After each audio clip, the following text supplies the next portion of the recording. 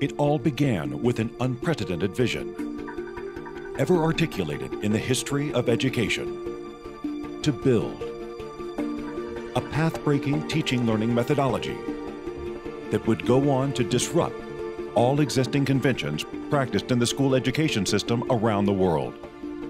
And then, the largest research initiative ever undertaken in the space of education was born. 400 researchers and educational professionals engaged in a decade-long research to build a path-breaking curriculum called the Millennium Learning System. The result, a rapidly growing chain of formidable institutions called the Millennium Schools. Millennium World Schools. In three years, the MEM fraternity has acquired a place of pride by becoming the fastest growing chain of schools in India. Known for their credible reputation of transforming, building an entirely new generation of highly skilled children to take on the world.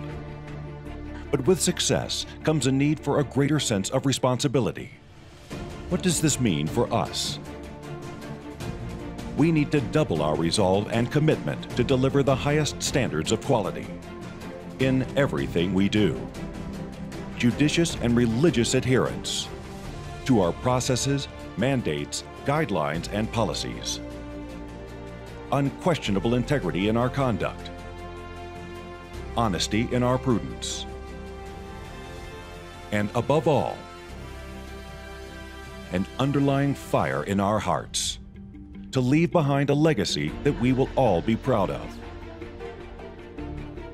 Welcome to a new beginning.